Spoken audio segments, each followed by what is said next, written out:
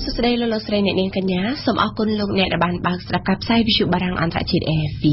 នៅពេលនេះម៉ោង7ព្រឹកកម្មវិធីព័ត៌មានដោយពុនសុភ័ណ្ឌ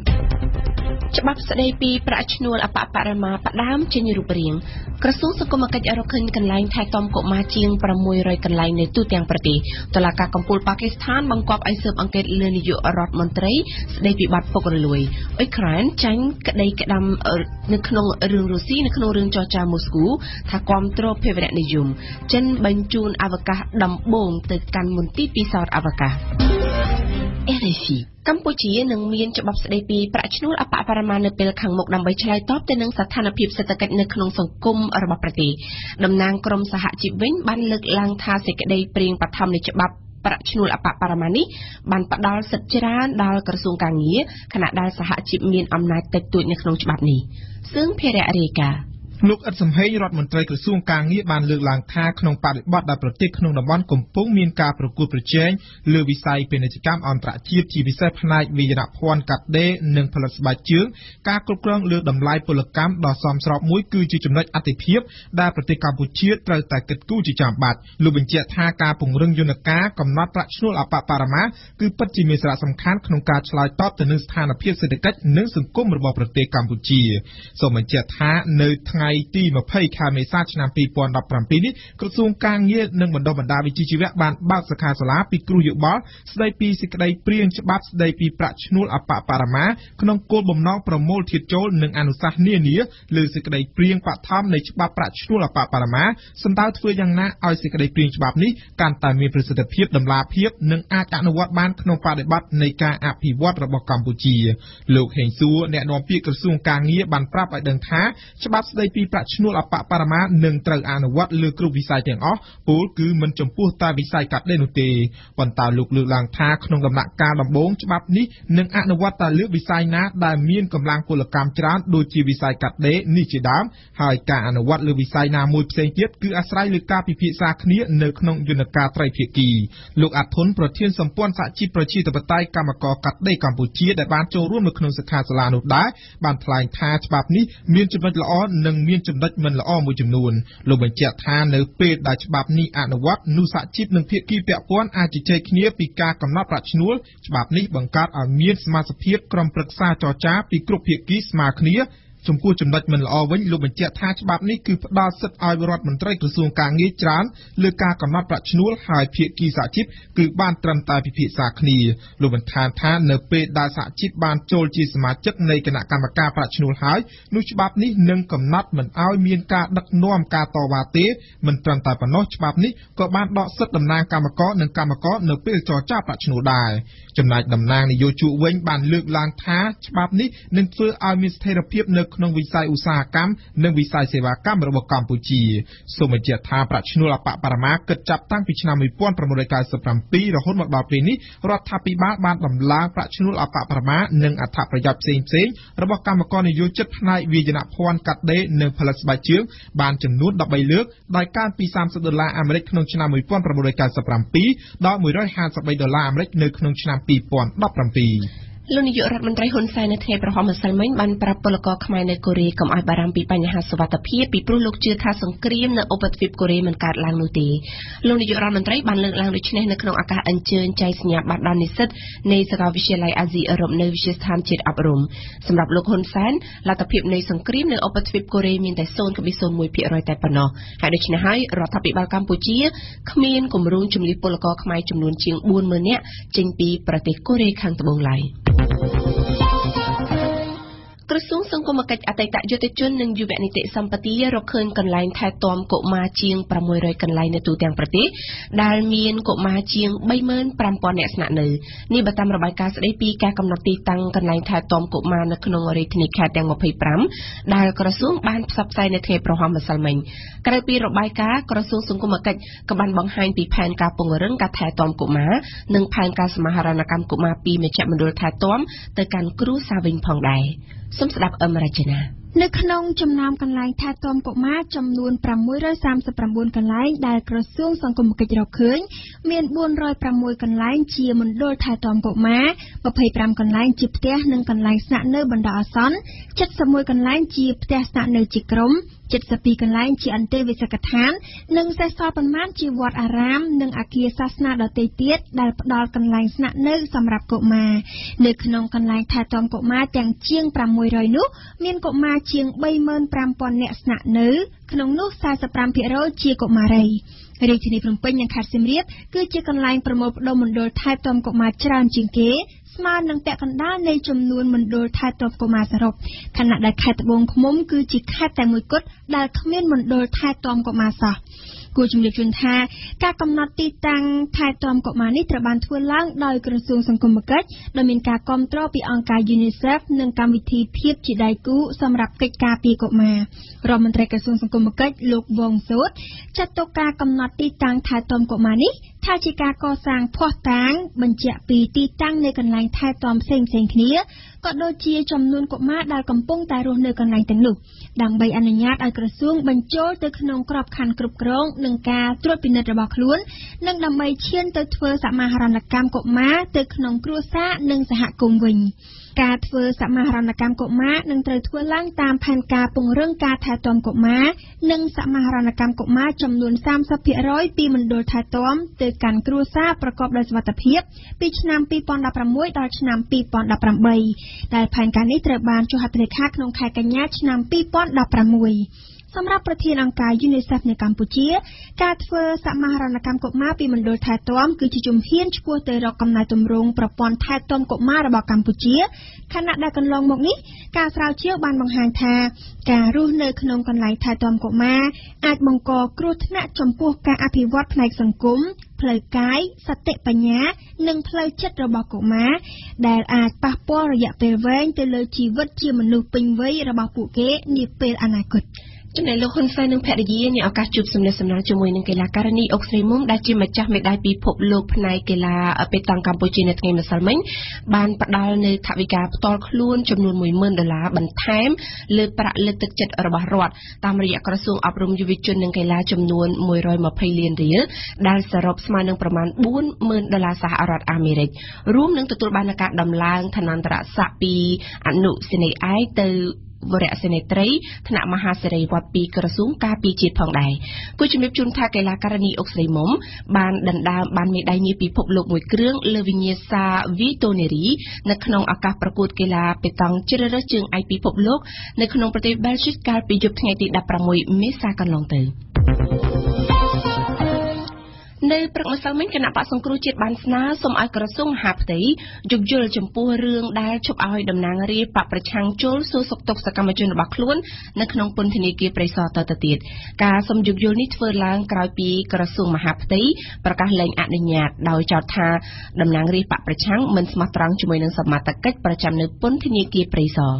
យើងស្ដាប់វ៉ាន់សុគន្ធា លោកខៀវសុភ័ក្រនៅក្នុងពាក្យក្រសួងមហាផ្ទៃបានអះអាងប្រាវត្ថុបារាំងអន្តរជាតិថាមានមូលហេតុធំធំចំនួន2ដែលធ្វើឲ្យក្រសួងមហាផ្ទៃសម្រេចលែងអនុញ្ញាតឲ្យតំណាងរាស្ត្រគណបកសង្គ្រោះជាតិចូលសួរសុខទុក្ខសកម្មជនរបស់ខ្លួនដោយសពម្ដងទៀត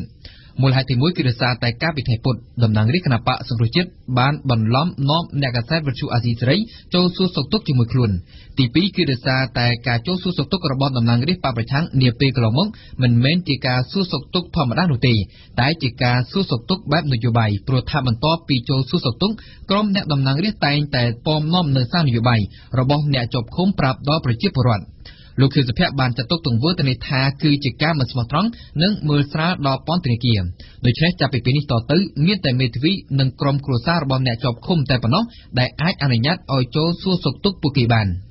ប្រឈមនឹងបញ្ហានេះលោកស្រីមួសុខួរអនុប្រធានគណៈបកសង្គ្រោះជាតិបានសូមឲ្យក្រសួងមហាផ្ទៃយោគយល់និងបន្តឲ្យតំណាងរាស្ត្រនិងសមាជិកគណៈបកសង្គ្រោះជាតិបានចូលសួរសុខទុក្ខសកម្មជនរបស់ខ្លួននៅក្នុងពន្ធនាគារដោយសពមួយដងលោកស្រីបានគូបញ្ជាក់ថារឿងរ៉ាវដែលបានកើតឡើងកាលពីថ្ងៃពុធគឺជារឿងអចេតនាបំផុតលោកស្រីបានគូបញ្ជាក់បន្ថែមថារឿងរ៉ាវដែលបានកើតឡើងនោះគឺមិនមែនជាការប៉ុនប៉ងឬក៏ជាការរៀបចំឡើងដោយគណៈបកសង្គ្រោះជាតិនោះឡើយដូច្នេះហើយលោកស្រីសង្ឃឹមថាក្រសួងហាផ្ទៃនឹងមានការយោគយល់និងមានដំណោះស្រាយចំពោះរឿងរ៉ាវនេះ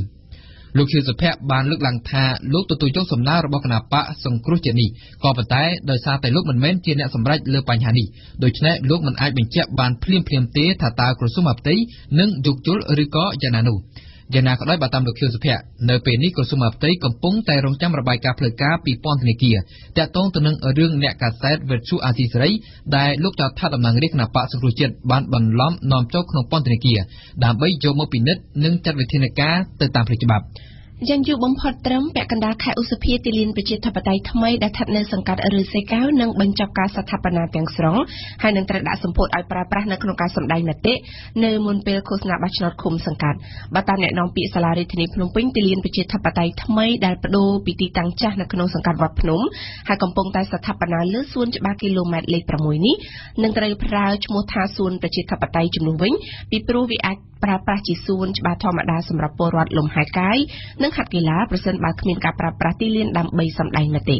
ស្រីសុភ័ក្រជួនព័ត៌មាន អ្នកនាំពាក្យសាលារាជធានីភ្នំពេញលោកមេតមាសភក្តីបានបញ្ជាក់ប្រាប់វិទ្យុបារាំង AFE នៅថ្ងៃប្រហ័ននេះថាសាលាក្រុងភ្នំពេញនឹងបើកឲ្យមានការសម្ដែងមតិនៅទីលានប្រជាធិបតេយ្យថ្មីក្នុងសង្កាត់រិស័យកែវអំឡុងពាក់កណ្ដាលខែឧសភាខាងមុខគឺនៅមុនពេលយុទ្ធនាការឃោសនាបោះឆ្នោតក្រុមប្រឹក្សាឃុំសង្កាត់យុទ្ធនាការឃោសនាបោះឆ្នោតក្រុមប្រឹក្សាឃុំសង្កាត់អាណត្តិទី4នឹងចាប់ផ្ដើមពីថ្ងៃទី20ខែឧសភាដល់ថ្ងៃទី2ខែមិថុនាឆ្នាំ2017បើទោះបីជាមិនទាន់បង្ហាប់ឲ្យដឹងពីទំហំនៃការចំណាយសរុបដើម្បីសាងសង់ទីលានប្រជាធិបតេយ្យថ្មី តែមន្ត្រីសាលារាជធានីភ្នំពេញបានថ្លែងថា ទីលានប្រជាធិបតេយ្យថ្មីមានទីតាំងស្ថិតនៅតាមបណ្ដោយផ្លូវជាតិលេខ5ស្ថាបនាលើសួនច្បារគីឡូម៉ែត្រលេខ6ក្នុងសង្កាត់រិស័យកែវខណ្ឌរិស័យកែវមានទំហំជាង22000ម៉ែត្រការ៉េដែលអាចផ្ទុកមនុស្សបានច្រើន មានក្រាលការ៉ូឡា ចំណតយានយន្តភ្លើងបំភ្លឺបងអង្គុយបង្គន់អនាម័យព្រមទាំងសួនច្បារដែលធំជាងមុននិងប្រសើរជាងទីលានចាស់ ទីលានថ្មីនេះនឹងប្រើឈ្មោះថាសួនប្រជាធិបតេយ្យវិញដើម្បីឲ្យស្របនឹងមុខងារពីរគឺប្រើប្រាស់ជាសួនច្បារសម្រាប់ពលរដ្ឋលំហែកាយនិងហាត់កីឡាបន្ថែមទៅលើមុខងារប្រើប្រាស់ទីលានដើម្បីសម្ដែងមតិ គូរំលឹកថាកាលពីដើមខែធ្នូឆ្នាំ2016លោកនាយករដ្ឋមន្ត្រីហ៊ុនសែនបានស្នើឲ្យផ្លាស់ប្តូរទីលានប្រជាធិបតេយ្យចាស់ដែលស្ថិតនៅក្បែរស្ថានទូតអាមេរិកក្នុងសង្កាត់វត្តភ្នំដោយលោកយល់ថាបានបង្កការរំខានដល់ភ្ញៀវទេសចរចូលទស្សនាបូជនីយដ្ឋានទេសចរវត្តភ្នំនិងដើម្បីយកទីតាំងទៅធ្វើជាសួនច្បារបម្រើជាប្រយោជន៍សាធារណៈព្រមទាំងសាងសង់សម្រាប់ជាកន្លែងឲ្យជនពិការប្រគំតន្ត្រីផងដែរលោកហ៊ុនសែនក៏ធ្លាប់ចំអកថានឹងយកទីលានប្រជាធិបតេយ្យទៅធ្វើនៅមុខស្ថានទូតអាមេរិកតែម្ដងប្រសិនបើអាមេរិកប្រតិកម្មនឹងការរុះរើទីតាំងទីលានប្រជាធិបតេយ្យចាស់ ទីលានប្រជាធិបតេយ្យគឺជាកន្លែងបញ្ចេញមតិសាធារណៈមួយផ្ដួចផ្ដើមឡើងដោយស្មារតីច្បាប់ស្ដីពីការធ្វើបាតកម្មដោយសន្តិវិធីឆ្នាំ2019ដែលច្បាប់នេះតម្រូវឲ្យអាជ្ញាធររាជធានីខេត្តមានភារៈរៀបចំទីតាំងមួយសម្រាប់ធ្វើបាតកម្មដោយសន្តិវិធីឬការបញ្ចេញមតិជាសាធារណៈនៅក្នុងទឹកដីនៃដែនសមត្ថកិច្ចរបស់ខ្លួនទីលានប្រជាធិបតេយ្យចាស់ស្ថិតនៅក្នុងសង្កាត់វត្តភ្នំខណ្ឌដូនពេញមានទំហំជាង10000ម៉ែត្រការ៉េត្រូវបានប្រកាសឲ្យប្រើប្រាស់កាលពីថ្ងៃទី4ខែវិច្ឆិកាឆ្នាំ2010ដោយអតីតអភិបាលរាជធានីភ្នំពេញលោកកែបជុតិមាក្រោយការបោះឆ្នោតខែកក្កដាឆ្នាំ2013គណៈបកសង្គ្រោះជាតិបានប្រើទីលានប្រជាធិបតេយ្យដើម្បីប្រមូលផ្ដុំអ្នកគាំទ្ររាប់ពាន់នាក់ធ្វើបាតុកម្មរាប់ខែប្រឆាំងលទ្ធផលបោះឆ្នោតរហូតឈានដល់ការបំបែកទីលានប្រជាធិបតេយ្យដោយកងកម្លាំងសន្តិសុខរបស់សាលារាជធានីភ្នំពេញនៅដើមខែមករាឆ្នាំ2014និងបិទទីលានមួយរយៈតំណាងរាស្ត្រនិងសកម្មជនគណៈបកសង្គ្រោះជាតិសរុប21នាក់ធ្លាប់ត្រូវបានចាប់ខ្លួនឃុំខ្លួនកាត់ទោសនិងដោះលែងមួយចំនួនជុំវិញអំពើហិង្សានៅទីលានប្រជាធិបតេយ្យនេះផងដែរ លោកវៀនភុងលោកវៀនស៊ុនភុកនាយករដ្ឋមន្ត្រីវៀតណាមនឹងដឹកនាំគណៈប្រតិភូមកបំពេញទស្សនកិច្ចផ្លូវការនៅកម្ពុជារយៈពេល3ថ្ងៃផ្ដើមចាប់ពីថ្ងៃទី24ដល់ថ្ងៃទី26ខែមេសាខាងមុខនេះបើតាមសេចក្តីប្រកាសរបស់ក្រសួងការបរទេសកម្ពុជានៅថ្ងៃទី20មេសាម្សិលមិញនៅក្នុងឱកាសដំណើរទស្សនកិច្ចនេះលោកវៀនស៊ុនភុកនឹងចូលក្រាបបង្គំគាល់ព្រះមហាក្សត្រកម្ពុជា នៅព្រះបរមរាជវាំងបន្ទាប់ពីនោះលោកក៏នឹងចូលជួបសម្ដែងការគួសមដាច់ដライពីគ្នាជាមួយនឹងលោកសៃឈុំប្រធានប្រសិទ្ធិលោកហេងសំរិនប្រធានរដ្ឋសភាហើយនឹងជួបពិភាក្សាទ្វេភាគីជាមួយនឹងលោកនាយករដ្ឋមន្ត្រីហ៊ុនសែនផងដែរយើងសូមងាកមកជំរាបជូនពីព័ត៌មានអន្តរជាតិវិញម្ដងផ្ដាំនិយាយពីប្រទេសប៉ាគីស្ថានចៅក្រមទាំង5រូបនៃតុលាការកំពូលប្រទេសប៉ាគីស្ថានបានសម្រេចនៅក្នុងសវនកម្មនៅថ្ងៃទី20មេសាម្សិលមិញដោយបង្គាប់ឲ្យមានការស៊ើបអង្កេតស៊ីជម្រៅលើរូបលោក Naraf Nawaz Sharif នាយករដ្ឋមន្ត្រីប៉ាគីស្ថានតាក់ទងទៅនឹងរឿងអាស្រូវពុករលួយនិងលាងលុយកខ្វក់តែយ៉ាងណាតុលាការមិនបានលើកឡើងថាត្រូវទាមទារឲ្យនាយករដ្ឋមន្ត្រីប៉ាគីស្ថានចុះចេញពីតំណែងនោះទេមកពិសេសជូនព័ត៌មានពឹស្ដាប់ សវនកម្មកាលពីថ្ងៃប្រហ័សម្សិលមិញនៅតុលាការកំពូលក្រុងអ៊ីស្លាមាបាតប្រទេសប៉ាគីស្ថានត្រូវបានប្រជាជនប៉ាគីស្ថានទូទាំងប្រទេសផ្ទៀងត្រចៀកចាំស្ដាប់នៅក្នុងសាលដីកាចៅក្រមតុលាការកំពូលបានស្រង់សំណេរនិពន្ធរបស់លោក Honoré de Balzac អ្នកនិពន្ធបារាំងដ៏ល្បីឈ្មោះដែលបានសរសេរថានៅរាល់ពីក្រោយទ្រព្យសម្បត្តិដ៏មហាសាលគឺប្រកាសជាមានរឿងឧក្រិដ្ឋមិនទៀងត្រង់ណាមួយមិនខានទេក្នុងសំណុំរឿងពុករលួយរបស់លោក Nawaz Sharif នាយករដ្ឋមន្ត្រីប៉ាគីស្ថានចៅក្រមតុលាការកំពូលប៉ាគីស្ថាន បានសម្រេចឲ្យបង្កើតគណៈកម្មការស៊ើបអង្កេតចម្រុះមួយដែលមានការចូលរួមពីអាជ្ញាធរប្រយុទ្ធប្រឆាំងនឹងអំពើពុករលួយ និងក្រុមស៊ើបការសម្ងាត់ប៉ាគីស្ថានក្នុងរយៈពេល7ថ្ងៃចាប់ពីពេលចេញសវនាការនេះគណៈកម្មការស៊ើបអង្កេតនេះមានតួនាទីផ្ដល់របាយការណ៍ស៊ើបអង្កេតរបស់ខ្លួនរៀងរាល់2សប្តាហ៍ម្ដងមុននឹងចេញសេចក្តីសន្និដ្ឋានចុងក្រោយរបស់ខ្លួននៅរវាង2ខែទៀត ទោះបីយ៉ាងណាក្នុងចំណោមចៅក្រមទាំង5រូបគឺមានតែចៅក្រម2រូបទេដែលបានចាត់ទុកថាលោកនាយករដ្ឋមន្ត្រីប៉ាគីស្ថានជាមនុស្សពុករលួយនិងមិនស្អាតស្អំតុលាការកំពូលប៉ាគីស្ថានមិនបានតម្រូវឲ្យលោកនាយករដ្ឋមន្ត្រី ត្រូវតែចុះចេញពីតំណែងទេក្នុងពេលឥឡូវនេះសូមរំលឹកថាលោក Nawaz Sharif បានជាប់ពាក់ព័ន្ធនឹងរឿងអាស្រូវដែលបែកធ្លាយជាមួយករណី Panama Papers កាលពីឆ្នាំ2016តាមរយៈឯកសារដែលបែកធ្លាយគឺបានធ្វើឲ្យគេដឹងថាកូនកូនរបស់លោកនាយករដ្ឋមន្ត្រីប៉ាគីស្ថានរូបនេះបានទៅបង្កើតក្រុមហ៊ុនខ្មោចនៅប៉ាណាម៉ាដែលគេសង្ស័យថាដើម្បីបង្វិលប្រាក់ពុករលួយឬក៏ជាការលាងលុយកខ្វក់មិនត្រឹមតែប៉ុណ្ណោះនៅមានអចលនទ្រព្យនៅទីក្រុងឡុងជាច្រើនកន្លែងទៀតដែលគេសង្ស័យថាជាទ្រព្យសម្បត្តិលាក់លៀមរបស់គ្រួសារលោក Nawaz Sharif កូន3នាក់ក្នុងចំណោម4នាក់របស់លោកនាយករដ្ឋមន្ត្រីប៉ាគីស្ថានកំពុងជាប់ឈ្មោះក្នុងសំណុំរឿងនេះអ្នកវិភាគនយោបាយប៉ាគីស្ថានក៏ដូចជាមន្ត្រីបកប្រឆាំងបានសម្ដែងការអបអរចំពោះភាពក្លាហាននៃតុលាការកំពូលប៉ាគីស្ថានវាជារឿងចាំបាច់បំផុតសម្រាប់ប្រជាជនប៉ាគីស្ថាន ដែលតុលាការបើកឲ្យមានការស៊ើបអង្កេតរបៀបនេះព្រោះថាជារៀងរាល់ឆ្នាំប៉ាគីស្ថានជាប់លេខសឹងតែចុងពូជគេនៅក្នុងចំណាត់ថ្នាក់ប្រទេសស្អាតស្អំគ្មានអំពើពុករលួយរបស់អង្គការដើម្បីដំឡាភិបអន្តរជាតិ នៅប្រទេសវេណេស៊ុយឡាក្រុមគណៈបកប្រឆាំងបានអំពាវនាវឲ្យបន្តបាតកម្មដើម្បីឲ្យប្រធានាធិបតីចុះចេញពីតំណែងបាតកម្មនៅទូទាំងប្រទេសកាលពីថ្ងៃម្សិលមិញបានបង្កឲ្យមានមនុស្សស្លាប់3នាក់រដ្ឋាភិបាលវេណេស៊ុយឡាបានបញ្ចេញទាហាននិងនគរបាលព្រួងព្រាតដើម្បីបង្ក្រាបចលនាបាតកម្មព្រមទាំងចោទថាសហរដ្ឋអាមេរិកជាអ្នកនៅពីក្រោយចលនាបាបោនេះ នៅថ្ងៃប្រហ័សទី20មេសាម្សិលមិញចិនបានបញ្ជូនយានអវកាសដំបូងរបស់ខ្លួនឈ្មោះថាធានជូមួយឆ្ពោះទៅកាន់ស្ថានីយពិសោធន៍អវកាសធានគន់ដើម្បីសាក់លបងផ្ទេរប្រេងចេញពីយាននេះចូលទៅក្នុងមន្ទីរពិសោធន៍អវកាសការបាញ់បញ្ជូនយានធានជូទៅអវកាសបង្ហាញពីមហិច្ឆតាអវកាសរបស់ចិនដែលចង់ដើរទាន់រុស្ស៊ីអាមេរិកនិងអឺរ៉ុបព្រមសិនសូលីណាជូនព័ត៌មានពុស្ដា យានអវកាសដំបូងរបស់ចិនឈ្មោះថាធានជូ1មានប្រវែងជាង10ម៉ែត្រត្រូវបានបង្ហោះចេញពីមជ្ឈមណ្ឌលបង្ហោះយានអវកាសក្នុងខេត្តហៃណាននៅយប់ម៉ោង7:41នាទីក្នុងស្រុកចិននៅថ្ងៃប្រហ័ម្សិលមិញនេះយានធានជូ1ប្រែថានាវាឋានសួគ៌អាចផ្ទុកសម្ភារៈបានរហូត6តោនហើយក៏អាចផ្ទុកផ្កាយរណបបានដែរយានធានជូ1ត្រូវធ្វើដំណើរទៅកាន់ស្ថានីយពិសោធន៍អវកាសធានគង់2នៅដារ៉ាវិថីដែលជាមន្ទីរពិសោធន៍ដែលចិនបានបាញ់បញ្ជូនដោយជោគជ័យកាលពីខែកញ្ញាឆ្នាំមុនយានធានជូមួយនេះមានបេសកកម្មសាក់លបងផ្ទេរប្រេងចូលក្នុងមន្ទីរពិសោធន៍អវកាសនេះយានធានជូមួយនឹងសម្រេចបទពិសោធន៍ការងារផ្សេងៗទៀតដែរមុននឹងធ្លាក់មកផែនដីវិញ។ ចិនចំណាយថវិការាប់ពាន់លានដុល្លារក្នុងកម្មវិធីអវកាសរបស់ខ្លួនដើម្បីដើរឲ្យទាន់អាមេរិករុស្ស៊ីនិងអឺរ៉ុបក្រុងពីកាំងកំពុងក្រុងស្ថាបនាស្ថានីយ៍អវកាសអន្តរជាតិដោយខ្លួនឯងខណៈស្ថានីយ៍អវកាសអន្តរជាតិ ISS របស់អាមេរិកជប៉ុនអឺរ៉ុបនិងរុស្ស៊ីត្រូវឈប់ដំណើរការក្នុងពេល6ឆ្នាំទៀតនេះចិនក្រុងបញ្ជូនទៅតារាវិថីក្នុងឆ្នាំ2022នៅយានអវកាសដែលអាចផ្ទុកអវកាសយានិកដល់ទៅ6នាក់ជាយានដែលអាចស្ថិតក្នុងតារាវិថីបានយ៉ាងតិច10ឆ្នាំ។ នៅមួយសប្តាហ៍មុនការប្រជុំនៃក្រុមប្រឹក្សាសន្តិសុខអង្គការសហប្រជាជាតិស្តីពីបញ្ហាកូរ៉េខាងជើងស្រាប់តែនៅថ្ងៃប្រហោះម្សិលមិញតំណាងរបស់រដ្ឋាភិបាលរុស្ស៊ីបានបដិសេធមិនទទួលយកសេចក្តីប្រកាសទណ្ឌកម្មទៅលើកូរ៉េខាងជើងដែលសហរដ្ឋអាមេរិកបានស្នើមន្ត្រីទូតនានានៅអង្គការសហប្រជាជាតិមានការភ្ញាក់ផ្អើលណាស់ដោយឃើញគោលជំហរបែបនេះរបស់រុស្ស៊ីពីព្រោះសំបីតែចិនដែលកន្លងមកតែងតែការពារកូរ៉េខាងជើងរហូតនោះក៏បានគ្រប់គ្រងសេចក្តីប្រកាសទណ្ឌកម្មទៅលើកូរ៉េខាងជើងនៅលើកនេះផងដែរយើងមកចាប់ព័ត៌មានអន្តរជាតិនិយាយពីនៅថ្ងៃប្រហោះម្សិលមិញនៅក្នុងពេលបំពេញទស្សនកិច្ចនៅឥណ្ឌូនេស៊ីអនុប្រធានាធិបតីអាមេរិក Mike Pence បានថ្លែងសរសើរការប្រារព្ធសាសនាអ៊ីស្លាមដែលមានលក្ខណៈមិនជ្រុលនិយមនៅឥណ្ឌូនេស៊ី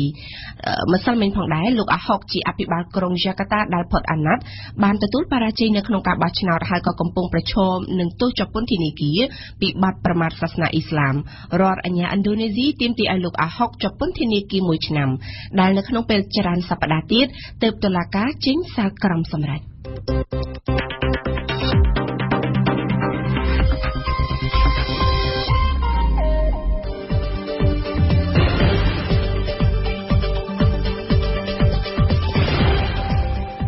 វិទ្យុបារាំង RFI ភ្នំពេញ92 MHz សៀមរាប92 MHz បាត់ដំបង ក្រុងព្រះសីហនុនិងកំពង់ចាម94.5 MHz លោកអ្នកនាងកំពុងស្ដាប់កម្មវិធីព័ត៌មានរបស់វិទ្យុបារាំងអន្តរជាតិ AFP ជាបន្តទៅទៀតនេះលោកអ្នកនាងនឹងបានស្ដាប់ដំបូងគឺជានាទីព្រឹត្តិការណ៍កម្ពុជាប្រចាំថ្ងៃរៀបចំជូនដោយញឹមសុផល នៅថ្ងៃនេះសុផលសូមជូនសេចក្តីរាយការណ៍អំពីស្ថានីយ៍ប្រេងឥន្ធនៈនឹងត្រូវរៀបចំតាមបទដ្ឋានច្បាប់និងសុវត្ថិភាពតែត្រូវការពេលវេលាយូរបន្តមកគឺជានាទីទស្សនៈព្រឹត្តិការណ៍កម្ពុជាអមរជនានឹងជូនបទវិភាគស្ដីអំពីព័ត៌មានคล้ายៗនៅលើបណ្ដាញសង្គមនាទីទស្សនៈ ព្រឹត្តិការណ៍ពិភពលោករបស់យើងនៅថ្ងៃនេះកែឆាយានឹងអត្ថាធិប្បាយអំពីអ៊ុយក្រែនក្តីក្តាំចាញ់រុស្ស៊ីនៅក្នុងរឿងចោតមូស្គូថាគាំទ្រភេរវនិយមនីតិទេសនៈសពតមាននៅព្រឹកនេះគឺជាភារៈរបស់សឿងភារៈនិងនៅចុងបញ្ចប់នៃកម្មវិធីរបស់យើងគឺជានីតិបាត់យកការរបស់អឹមណាវិន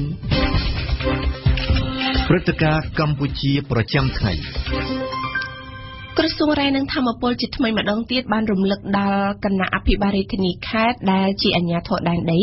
ដោយស្នើសុំកិច្ចសហការចុះពិនិត្យទប់ស្កាត់និងវាយតម្លៃលក្ខណៈបច្ចេកទេសសុវត្ថិភាពនៅក្នុងការគ្រប់គ្រងបណ្ដាញបណ្ដាស្ថានីយ៍ប្រេងនិងឧស្ម័នឥន្ធនៈនៅទូទាំងប្រទេសការស្នើសុំសហការពីអាជ្ញាធរដែនដីនេះបានធ្វើឡើងបន្ទាប់ពីក្រសួងរ៉ែនិងធម្មពលបានពិនិត្យឃើញថាស្ថានីយ៍ប្រេងឥន្ធនៈមួយចំនួននៅមិនទាន់មានបទបញ្ញត្តិបច្ចេកទេសស្តង់ដារប្រេងត្រឹមត្រូវនៅឡើយជាបទបញ្ញត្តិដែលបង្កើតឡើងដោយក្រសួងរ៉ែនិងធម្មពលហើយតម្រូវឲ្យមានការគោរពតាមដើម្បីសុវត្ថិភាពលើអាជីវកម្មប្រេងឥន្ធនៈនេះតទៅទៀតនេះសូមអញ្ជើញស្ដាប់សេចក្តីរាយការណ៍របស់ញឹមសុផលលោកមេងសធិរារដ្ឋលេខាធិការនិងជាអ្នកនាំពាក្យក្រសួងរ៉ែនិងធម្មពលកន្លងមកការបង្កើតនិងដំណើរការរបស់ស្ថានីយ៍ប្រេងឥន្ធនៈហ្នឹងគឺបានប្រព្រឹត្តទៅដោយពុំមាននីតិវិធីបទបញ្ញត្តិ ស្ដីពីសុវត្ថិភាពស្តង់ដារបច្ចេកទេសនៃកំណត់ច្បាស់លាស់នៅឡើយចឹងទៅនៅក្រោយពេលដែលក្រសួងបានបង្កើតចេញនៅបទបញ្ញត្តិបច្ចេកទេសស្ដីពីស្តង់ដារសុវត្ថិភាពរបស់ស្ថានីយ៍ប្រេងហ្នឹងយើងមានស្ថានីយ៍ប្រេងជាច្រើនបានដំណើរការរួចហើយមុនបទបញ្ញត្តិនឹងកើតឡើង ហើយជាការប្រឈមមួយដ៏ធំដែរដោយសារស្ថានីយ៍ប្រេងទាំងអស់ហ្នឹងគាត់ត្រូវការពេលវេលាដើម្បីនឹងធ្វើការកែលម្អប្រព័ន្ធបច្ចេកទេសសុវត្ថិភាពរបស់គាត់ឡើងវិញដើម្បីឲ្យស្របតាមបទបញ្ញត្តិទាំងអស់ហ្នឹងតកតងទៅនឹងបញ្ហាស្ថានីយ៍ប្រេងឥន្ធនៈនេះលោកសនជ័យនាយកប្រតិបត្តិសម្ព័ន្ធគណនេយ្យភាពសង្គមកម្ពុជា បានចាប់អារម្មណ៍និងលើកឡើងថាទីមួយខ្ញុំចង់ឲ្យអាជ្ញាធររដ្ឋនិងវិជាសាស្ត្ររដ្ឋបាលថ្នាក់ក្រោមជាតិនឹងពិនិត្យមើលទៅលើភាពស្របច្បាប់នៃស្ថានីយ៍ឬក៏ដេប៉ូប្រេងឥន្ធនៈមួយចំនួនណាខណៈពេលដែលប្រហែលឆ្នាំមុនយើងបានដឹងថាភាពស្របច្បាប់របស់ពួកគេនៅមានបញ្ហាច្រើនបានន័យថាពួកគេសុំច្បាប់តែត្រឹមអីជាដើមទាំងមួយហើយទីពីរគឺទស្សនវិជ្ជានៃស្តង់ដារនៃការដាក់ពាក្យសុំតែមិនឲ្យមានការឆ្លើយតបពីរដ្ឋាភិបាលទៅលើអាជីវករដែលនឹងបង្កើតនៅស្ថានីយ៍ដើម្បីប្រតិបត្តិការចែកចាយប្រេងហ្នឹងចង់ឲ្យមានការកំណត់ លក្ខខណ្ឌឬក៏ស្តង់ដារឲ្យបានច្បាស់ដើម្បីឲ្យអ្នកដាក់ពាក្យសុំហ្នឹងមានឱកាសឬក៏ដឹងថាអ្វីដែលខុសអ្វីដែលត្រូវហើយបើខុសកន្លែងណាសូមឲ្យអាជ្ញាធរនឹងប្រាប់អាជីវករពីរៀងហៅឥឡូវខុសហើយខុសខុសក៏មិនប្រាប់ឲ្យប្រាប់ប៉ុន្តែដាក់លុយទៅស្ងាត់ឈឹងត្រូវវិញដូចគ្នាដែរអ្នកស្រាវជ្រាវនឹងតាមដានបញ្ហាសង្គមលោកបណ្ឌិតឈុតប៊ុនថងបានទាញការយកចិត្តទុកដាក់ទៅមើលស្ថានភាពនៃការរៀបចំស្ថានីយ៍ប្រេងឥន្ធនៈនៅប្រទេសជិតខាង។ ខ្ញុំឃើញថានៅមានខ្វះចន្លោះច្រើនណាទីទូទៅនៅប្រទេសខ្ញុំមិនបានដើរច្រើនទេបានតែប្រទេសប្រមាណទេមានតែខ្ញុំបានសង្កេតនៅប្រទេសថៃនិងប្រទេសវៀតណាមដែលយើងអាចយកមកធ្វើជាឧទាហរណ៍ណាបាននៅបណ្ដាប្រទេសក្បែរខាងយើងនេះប្រហែលជាដោយសារតែជាប្រទេសដែលអភិវឌ្ឍគឺគេរៀបចំយូរហើយឬយ៉ាងម៉េចគេឃើញថាឋានីប្រេងឥន្ធនៈហ្នឹងមិនទៅនៅកន្លែងទីប្រជុំជនឬនៅកន្លែងដែលងាយឆាប់ឆេះក្នុងនិយាយថាប្រសិនជាមានអគិភ័យឬក៏មានបញ្ហាកើតឡើងហ្នឹង វាអាចប៉ះពាល់ច្រើនទេដូច្នេះមានន័យថាវានៅកន្លែងមួយដែលសំស្របកន្លែងមួយដែលឆ្ងាយពីទីប្រជុំជនឬក៏មិននៅជាប់លំនៅឋាននៅជាដើមហើយការរៀបចំហ្នឹងមានកន្លែងដែលឆ្លាស់ឆ្លាយដែលអាចសង្គ្រោះនៅពេលដែលមានបញ្ហាកើតឡើងជាមួយគ្នានេះលោកមេតមាសភក្តីអ្នកនាំពាក្យសាលារាជធានីភ្នំពេញដែលជាបណ្ដុំស្ថានីយ៍ប្រេងសាំងដ៏ច្រើននិងចម្រុះក្រុមហ៊ុននោះលើកឡើងពីលក្ខខណ្ឌច្បាស់លាស់ ក្នុងការទទួលបានសិទ្ធិបើកស្ថានីយ៍ប្រេងនីមួយៗដោយលោកមិនបាននិយាយភ្ជាប់មកជាមួយនៅការ៉ាសាំងតូចៗនៅក្នុងភូមិនោះទេ បើនិយាយអំពីការងារសុវត្ថិភាពមានន័យថាមុននឹងទទួលបានអាជ្ញាប័ណ្ណទទួលបាន license ក្នុងការប្រកបអាជីវកម្មហ្នឹងវាតែងតែមានការតម្រូវឲ្យម្ចាស់ស្ថានីយ៍ហ្នឹងគាត់ត្រូវបំពេញឬក៏នេះការងារបែបបទដើម្បីស្នើសុំហ្នឹងដែលមានភ្ជាប់អំពីការងារបច្ចេកទេសទៅលើការងារសាងសង់ក៏ដូចជាការងារសុវត្ថិភាពដែរតើតែយើងមើលឃើញថាឯកសាររបស់គាត់ ណាគ្រប់ទៅតាមលក្ខណៈបច្ចេកទេសនៃការបើកជាស្ថានីយ៍ប្រេងមួយបានទើបយើងផ្ដល់ណាទើបខាងគាត់នេះអាចទទួលបានអាជ្ញាប័ណ្ណក្នុងការប្រកបអាជីវកម្មហ្នឹងបន្តមកទៀតក្រោយពីគាត់បានអាហ្នឹងហើយគាត់ត្រូវតែមានយន្តការក្នុងការគ្រប់គ្រងឬក៏ប្រកាសអគិភ័យឲ្យបានច្បាស់លាស់អ្នកនាំពាក្យសាលារាជធានីបន្ថែមពីភាពចាំបាច់នៃការសូមបើកស្ថានីយ៍សាំង ឧទាហរណ៍ថាគាត់ត្រូវមានឧបករណ៍ឬក៏សម្ភារៈក្នុងការបង្ការនៅពេលដែលមានឧបទ្ទវហេតុកើតឡើងដែលចៃដន្យក្នុងទ្រង់ទ្រាយតូចល្មមណាមួយនោះគាត់ត្រូវមានឧបករណ៍នេះដើម្បីធ្វើការសង្គ្រោះធ្វើការផលិតនឹងឲ្យបានទាន់ពេលវេលាហើយតម្លៃក៏ត្រូវមានយន្តការមួយក្នុងការផ្ដល់ដំណឹងទៅដល់អាជ្ញាធរដែលក្នុងមូលដ្ឋានចិត្តគាត់បំផុតក៏ដូចជា អង្គភាពនគរបាលផលិតកិច្ចភ័យនឹងដើម្បីគេអន្តរាគមន៍ឲ្យបានទាន់ពេលវេលាមានថាគាត់ត្រូវមានកិច្ចការបំរុងនៅក្នុងនឹងរួចជាសាច់ដើម្បីប្រកាសទៅលើការងារសុវត្ថិភាពនឹងលោកសនជ័យក៏សម្គាល់ថាបញ្ហាបច្ចេកទេសជាច្រើននៅក្នុងស្ថានីយ៍សាំងមួយចំនួនត្រូវបានចោទសួរខណៈដែលលោកលើកឡើងពីកង្វះខាតខ្លះៗ មុននឹងចូលដល់រឿងបច្ចេកទេសនឹងគ្រប់គ្រាន់នៅក៏សូម្បីតែកុងទ័រសាំងឬក៏នៅក្នុងម៉ាស៊ីនចាក់សាំងហ្នឹងណាកុងទ័រសាំងហ្នឹងក៏មានបញ្ហាដែរអញ្ចឹងវាវាមានបញ្ហាវាអញ្ចឹងពេលខ្លះចាក់ទៅវល់ពេលខ្លះអត់ណាពេល error ពេលហ្នឹងចុះទៅបច្ចេកទេសផ្សេងផ្សេង standard ផ្សេងផ្សេងក៏ដែលវាបានដាក់ឲ្យប្រើប្រាស់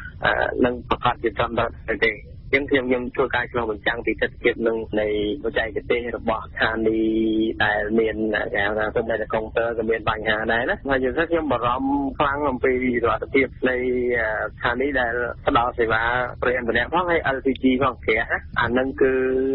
ដូចជានៅក្នុងស្ថានីយ៍តែមួយខ្ញុំខ្ញុំមើលទៅឃើញចំណុចហានិភ័យ លោកបណ្ឌិតឈុតបន្ថងក៏សម្គាល់ពីស្តង់ដារនៃទីតាំងស្ថានីយ៍ប្រេងឥន្ធនៈដែលមានលក្ខណៈចង្អៀតនិងប្រមូលផ្ដុំគ្នាច្រើននៅទីកន្លែងតែមួយវាមិនល្អមើលនិងប្រឈមហានិភ័យ។យើងមើលនៅក្នុងប្រទេសកម្ពុជារបស់យើងកំពុងអភិវឌ្ឍតិចតួចហើយការរៀបចំហ្នឹងក៏ទៅតាមនឹងដែរទៅតាមនឹងមានន័យថាមិនមានន័យថាយើងឃើញនៅមានកង្វះចន្លោះមិននិយាយពីទីតាំងជាពិសេសនៅទីក្រុងភ្នំពេញហ្នឹងយើងឃើញថាទីតាំងកន្លែងខ្លះវាមិនគួរមាន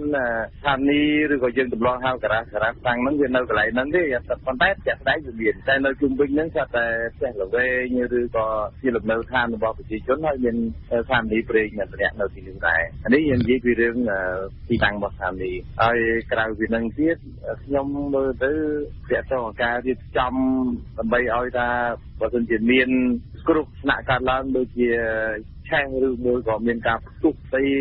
ធ្វើឲ្យមានអគិភ័យកើតឡើងហ្នឹងក៏កន្លែងខ្លះក៏ជាអៀតដែរពិបាកនឹងទៅសង្គ្រោះអញ្ចឹងជារួមខ្ញុំឃើញថាយើងនៅមានកង្វះចន្លោះច្រើនមកតាក់ទងទៅនឹងការកំណត់ទីតាំងស្ថានីយ៍ប្រេងឥន្ធនៈលោកមេងសធិរាបានបញ្ជាក់ពីគោលដៅការងារទៅថ្ងៃខាងមុខថា គេមិនអាចធ្វើភ្លាមភ្លាមនៅអំឡុងពេលអន្តរកាលបានទេ ថ្ងៃក្រោយទៅប្រទេសយើងនឹងត្រូវគ្រប់គ្រងដោយព័ន្ធបញ្ញត្តិកម្មស្ដីពីសុខភាពសាធារណៈនិងសុខភាពបច្ចេកទេសហ្នឹងច្បាស់លាស់អំពីការបង្កើតស្ថានីយ៍ហ្នឹងដែលស្ថានីយ៍មួយមួយត្រូវមានគម្លាតរបៀរបៀបម៉េចមានទីតាំងឆ្ងាយពីទីប្រជុំជនពីលំនៅឋានរបៀបម៉េចអីហើយពីស្ថានីយ៍មួយទៅស្ថានីយ៍មួយទៅកន្លែងណាត្រូវមានស្ថានីយ៍ប្រមាណកន្លែងណាមានប្រមាណអីមានការកំណត់ច្បាស់លាស់ហ្នឹងប៉ុន្តែនៅក្នុងអន្តរការយើងអត់ទាន់អាចធ្វើទៅចឹងបានព្រានទេដោយសារតែដូចខ្ញុំថាពីដើមអញ្ចឹងយើងបានចាប់ដើមពីដំណើរការមួយដែលអត់មានការត្រួតពិនិត្យគ្រប់គ្រងតាមបទបញ្ញត្តិឲ្យច្បាស់លាស់ហើយយើងទើបនឹងចាប់ដើមរៀបចំការកសាងនៅបទបញ្ញត្តិកាត់បទដ្ឋាននឹងជាជំហានជំហានហើយដាក់ឲ្យអនុវត្តជាជំហានជំហានបដាបដាសិនលោកមេតមាសភក្តីបញ្ជាក់ថាអាជ្ញាធរក្រុង មានការយកចិត្តទុកដាក់ខ្ពស់ជុំវិញបញ្ហាទីតាំងនិងសន្តិសុខ ពាក់ព័ន្ធជាមួយការងារសុវត្ថិភាពនេះព្រោះអីព្រោះយើងដឹងហើយថាមិនមែនតែទីតាំងនៅក្នុងប្រទេសរបស់យើងទេទីតាំងនៅលើពិភពលោកតែងតែមានការយកចិត្តមែនទែនដោយសារអីដោយសារថាស្ថានីយ៍ប្រេងនេះក៏ជាគោលដៅជាទីតាំងមួយដែលមានហានិភ័យខ្ពស់ក្នុងការធ្វើជាសកម្មភាពភេរវកម្មធ្វើជាសកម្មភាពបំផ្ទុះធ្វើការសកម្មភាពបង្កចលាចលដែរអញ្ចឹងទាំងក្រៅទាំងក្នុងមានថាទាំងរបស់យើងទាំងរាជធានីភ្នំពេញក៏យើងមានការយកចិត្តដាក់ខ្ពស់ដែរទៅលើគោលដៅគ្រប់ស្ថានីយ៍ទាំងអស់ហើយកន្លងមកយើងធ្លាប់មានការណែនាំឲ្យខាងស្ថានីយ៍នឹងយកចិត្តទុកដាក់ក៏ដូចជាអាជ្ញាធររបស់យើងនៅសកាត់នៅខណ្ឌហ្នឹងត្រូវយកចិត្តទុកដាក់បន្ថែមទៀតទៅលើទីតាំងដែលមានការថាបង្កហានិភ័យខ្ពស់មិនត្រឹមតែស្ថានីយ៍ប្រេងឥន្ធនៈទេសូម្បីតែកន្លែងលក់ហ្គាសកន្លែងអីអីឬក៏នេះធម្មតាដែលមានលក្ខណៈមួយដែលអាចធ្វើការបំផ្ទុះបានក៏យើងមានការជួយចិត្តដាក់ខ្ពស់ដែរ លោកសនជ័យបន្តរិះគន់ពីទីតាំងដែលមានការអនុញ្ញាតឲ្យសាងសង់ស្ថានីយ៍ប្រេងឥន្ធនៈកន្លងមក ខ្ញុំឃើញមានតូចមានធំរបាត់របាយពេលខ្លះនៅក្នុងព្រមបីថាផ្លូវខ្លះដែលគេហៅពីស្ទើដែលហៅថាផ្លូវលំតូចអញ្ចឹងណាក៏មានដែរហើយយើងមើលទៅលើទិដ្ឋភាពជុំវិញវិញជាជាអាគារចាស់ចាស់ជាអីហ្នឹងដែលងាយនឹងមានបញ្ហាទីភ័យអញ្ចឹងខ្ញុំមើលទៅសប្តាហ៍នេះបើនិយាយពីស្តង់ដាសម្រាប់ស្ថានីយ៍ពេកអន្តរជាតិនៅកម្ពុជាហាក់បីដូចជាមិនទាន់មានទេហើយយើងអត់ទេយើងគាត់អឺទៅដល់ហ្មងមកគេគេនៅឆ្ងាយខ្ញុំខ្ញុំទៅទៅជីឡាននៅភូមិនៅប្រទេសផ្សេងៗទៀតកន្លែងចាក់សាំងគេគេចូលពីផ្លូវធំនៅឆ្ងាយណានៅស្រុកខ្មែរយើងគេខ្លាចថាធ្វើឆ្ងាយទៅគេមើលមិនឃើញហើយនៅស្រុកគេគេអត់ទេគេគេមានលេងកៅថាស្តង់ដាររបស់គេត្រឹមត្រូវសូមបញ្ជាក់ថាការអនុញ្ញាតឲ្យមានការសាងសង់ស្ថានីយ៍ប្រេងឥន្ធនៈនៅក្នុងប្រទេសកម្ពុជា បានធ្វើឡើងកន្លងមក ក្រោមការរិះគន់ថាជាការមិនត្រឹមត្រូវ ដោយតំបន់ខ្លះមានសភាពតូចចង្អៀតទីប្រជុំជន ជាប់លំនៅឋានប្រជាពលរដ្ឋតំបន់មួយចំនួនត្រូវគេអនុញ្ញាតឲ្យបង្កើតស្ថានីយ៍សាំងជាប់ជាប់គ្នាជាច្រើនក្រុមហ៊ុន ដោយមិនកំណត់ពីគោលការណ៍គម្លាតពីស្ថានីយ៍មួយទៅស្ថានីយ៍មួយចម្ងាយប៉ុន្មានឡើយ។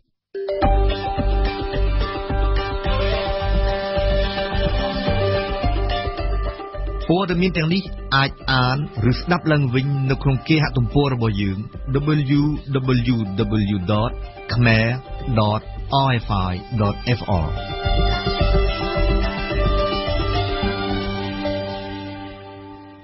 កម្មវិធីនេះសហការឧបត្ថម្ភដោយកែមប្រូប៊ីយ៉ូទិកជាផលិតផលធម្មជាតិ100%មានប្រសិទ្ធភាពខ្ពស់ដល់សុខភាព ដូចជាសម្រួលដល់ការរំលាយអាហារ បំបាត់ stress ធ្វើឲ្យពិសាបាយបានសម្រានលក់ស្រួល និងបំបត្តិការឈឺសន្លាក់ឆ្អឹងកែមប្រូប៊ីយ៉ូទិកជាផលិតផល PPM និង Conferel ហើយចែកចាយដោយក្រុមហ៊ុន DKSH សាកលវិទ្យាល័យឯកទេសនៅកម្ពុជា CUS សិក្សាដើម្បីគុណភាពសិក្សាដើម្បីសមត្ថភាពវិជ្ជាជីវៈសិក្សានៅ CUS Sinvenju ជាក្រុមហ៊ុនតែមួយគត់ដែលនាំផ្ដាច់មុខកាហ្វេពីប៉ៃលិននិងមណ្ឌលគិរីគ្រឹះស្ថានមីក្រូហិរញ្ញវត្ថុ LOLC ដើម្បីគំនិតរីកចម្រើនសាលារៀនអន្តរជាតិអាមេរិក AIS ជាសាលាចំណេះទូទៅខ្មែរដែលផ្ដោតទៅលើគុណភាពវិន័យនិងសេវាកម្ម AIS សាខាម៉ៅសេតុង សាខាទួគោកសាខាចាក់អង្រែទេសនាព្រឹត្តិការណ៍កម្ពុជា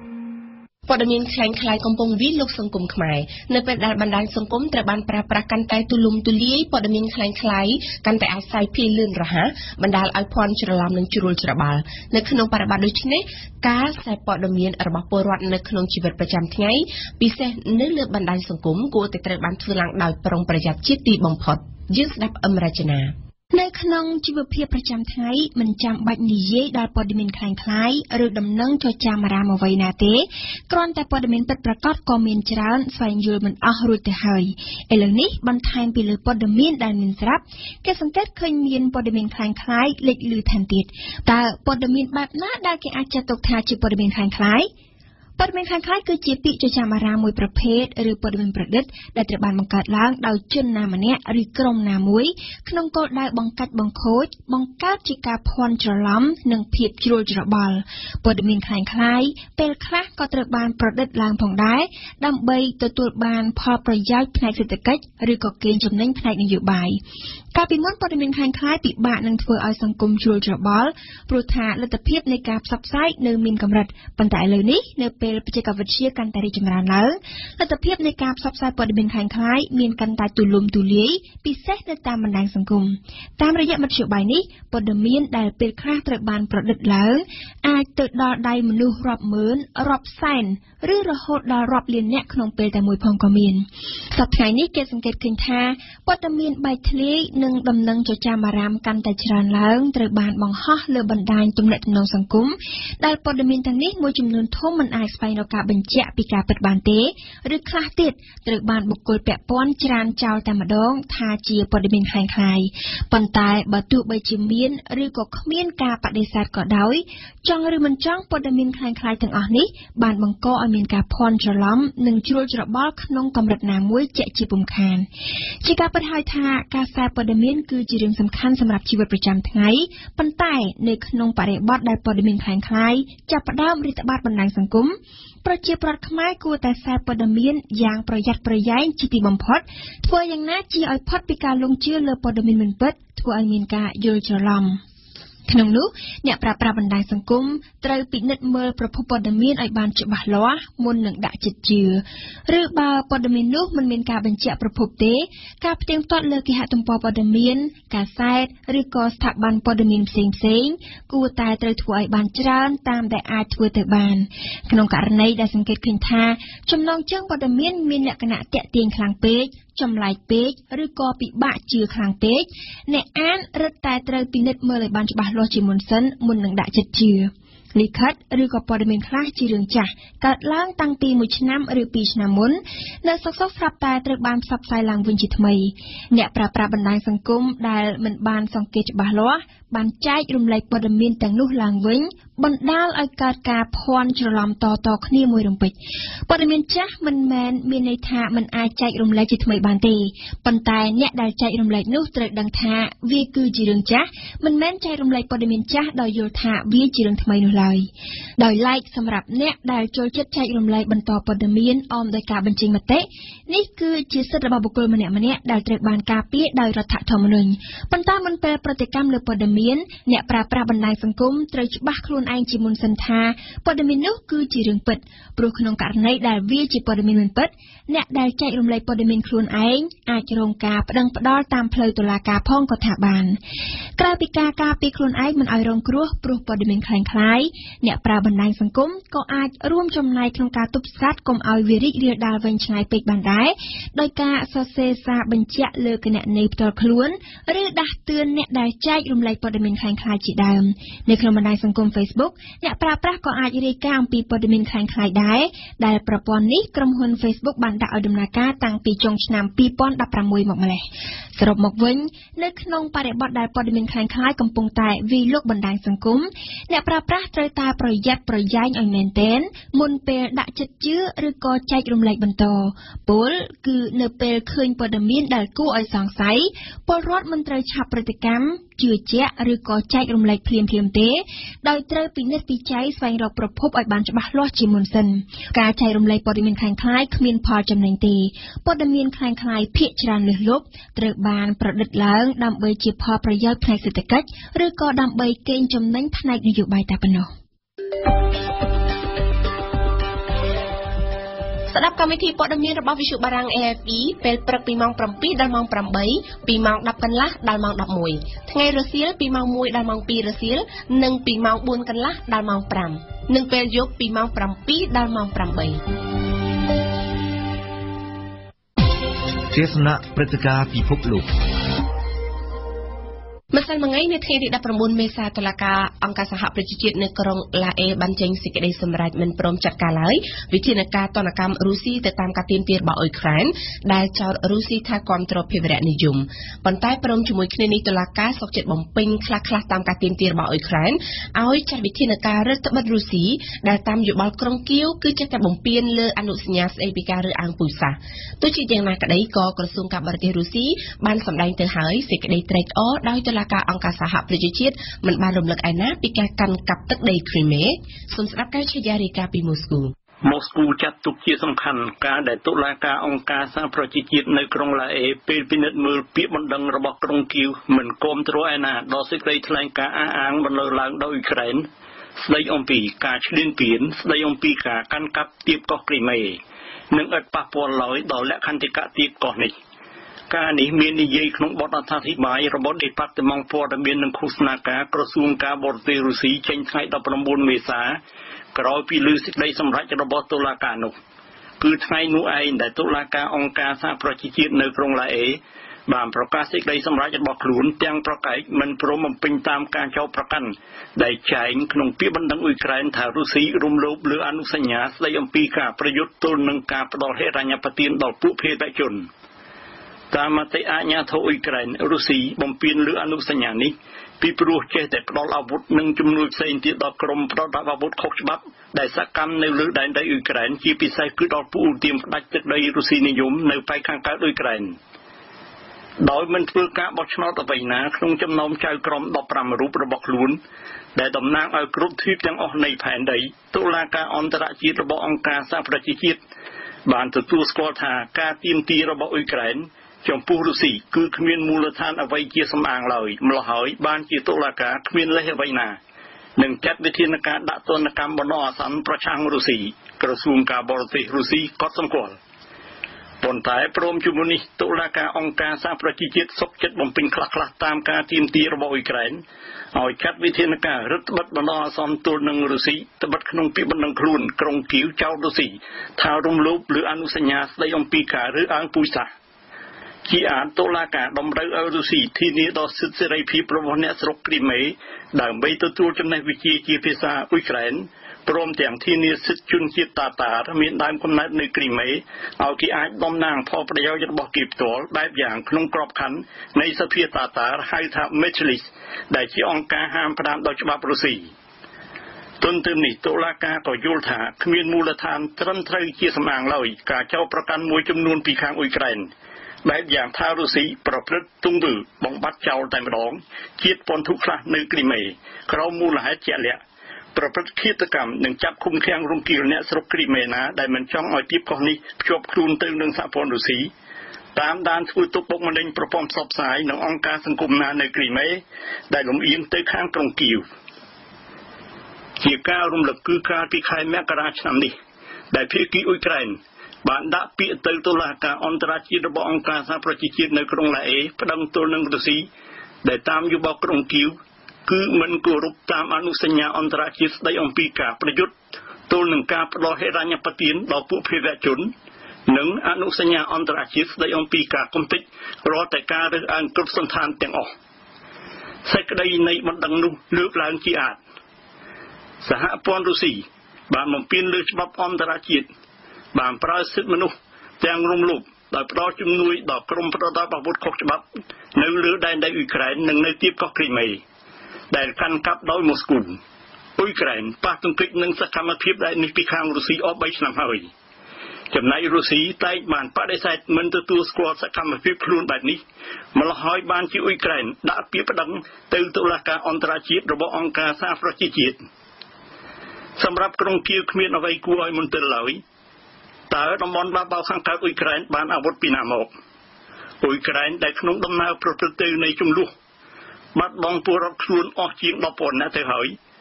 សូមតុលាការអន្តរជាតិរបស់អង្គការសហប្រជាជាតិឲ្យចាត់វិធានការបណ្ដោះអាសន្នជាបន្ទាន់ដើម្បីកុំបណ្ដោយឲ្យចំនួនលងកាន់តែជ្រៅទៅជ្រៅទៅនិងកាន់តែរាលដាលលុះនៅខែមីនាភាគីរុស្ស៊ីបានលាតត្រដាងគូចំហខ្លួននៅពីមុខតុលាការនោះទាំងច្រានចោលការចោលប្រកាន់របស់អ៊ុយក្រែន ដែលថារុស្ស៊ីគាំទ្រស្អីណាដល់ភេរនិយមនិងផ្ដល់អាវុធស្អីណាដល់តំបន់ខាងកើតអ៊ុយក្រែនតាមម៉ូស្គូប្រភពបឋមទី1នៃអាវុធសម្រាប់ពួកយោធាតំបន់ខាងកើតនោះគឺឃ្លាំងអាវុធដែលបន្សល់ទុកនៅអ៊ុយក្រែនក្រោយពីសហភាពសូវៀតរលំទៅក្នុងឆ្នាំ1991ហើយដែលមួយភាគធំរបស់វាគឺលាក់ទុកក្នុងអណ្ដូងរ៉ែចាស់ចាស់នៃតំបន់ខាងកើតនោះម្ល៉េះហើយបានជាវាធ្លាក់ទៅក្នុងដៃពួកអ៊ូទៀមនៅទីនោះតែម្ដង ប្រភពមួយទៀតគឺគេដណ្ដើមបាន ពីកងទ័ពអ៊ុយក្រែនផ្ទាល់មូលហេតុពិតនៃចំនួនយោធានៅតំបន់ខាងកើតអ៊ុយក្រែនមិនមែនមកពីសកម្មភាពរុស្ស៊ីទេតែគឺមកពីបដិវត្តពណ៌ឬរដ្ឋប្រហារនៅក្រុងគៀវឆ្នាំ2014ពាក្យបណ្ដឹងអ៊ុយក្រែនតាំងគោលដៅបំភាន់តុលាការអន្តរជាតិរបស់អង្គការសហប្រជាជាតិឲ្យយល់ខុសអំពីមូលហេតុពិតប្រាកដមូលហេតុពិតប្រាកដគឺអ្នកស្រុកតំបន់ខាងកើតអ៊ុយក្រែន មិនព្រមស្ថិតនៅក្រោមការត្រួតត្រានៃពួកដែលបានប្លន់យកអំណាចនោះម៉ូស្គូសង្កត់ធ្ងន់ថាគ្មានស្ថាប័នរដ្ឋណាមួយឬអង្គការណាមួយបកស្រាយស្ថានភាពនៅតំបន់ខាងកើតអ៊ុយក្រែនថាជាភេទវនិយមសោះឡើយបែបដូច្នេះភេទវនិយមគ្រាន់តែជារបាំងសម្រាប់អាជ្ញាធរអ៊ុយក្រែនបង្ក្រាបរលកតវ៉ាស៊ីវិល ស្ដាប់កម្មវិធីព័ត៌មានរបស់វិទ្យុបារាំង RFI ពេលព្រឹកពីម៉ោង7ដល់ម៉ោង8និងពីម៉ោង10កន្លះដល់ម៉ោង11ថ្ងៃរសៀលពីម៉ោង1ដល់ម៉ោង2និងពីម៉ោង4កន្លះដល់ម៉ោង5និងពេលយប់ពីម៉ោង7ដល់ម៉ោង8ស្ដាប់វិទ្យុបារាំង RFI ពិភពលោកស្ថិតក្នុងដៃរបស់លោកអ្នក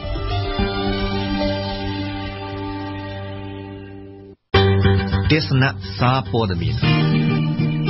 នៅក្នុងនីតិទស្សនៈសារព័ត៌មានរបស់យើងនៅថ្ងៃនេះរៀបចំជូនដោយសឿងភិរៈសូមអញ្ជើញស្ដាប់ កាសែតក្នុងស្រុកចេញផ្សាយនៅថ្ងៃសុក្រទី21ខែមេសានេះបានចាប់អារម្មណ៍លើប្រធានរឿងស្រដៀងស្រដៀងគ្នាទាក់ទងនឹងការហាមឃាត់មិនឲ្យតំណាងរាស្ត្ររបស់គណៈបកប្រឆាំងចូលទៅសួរសុខទុក្ខអ្នកទោសនៅក្នុងពន្ធនាគារជាដំបូងនេះគឺកាសែតភ្នំពេញប៉ុស្តិ៍នៅព្រឹកនេះកាសែតភ្នំពេញប៉ុស្តិ៍បានសរសេរចំណងជើងឲ្យសាច់រឿងរបស់ខ្លួនថាក្រសួងមកផ្ទៃកំពុងស៊ើបអង្កេតករណីអនុប្រធានវិទ្យុអាស៊ីសេរីបន្លំខ្លួនចូលនៅក្នុងពន្ធនាគារ តាមរយៈចំណងជើងនេះកាសែតបានសរសេរសាច់រឿងរបស់ខ្លួនបន្តថា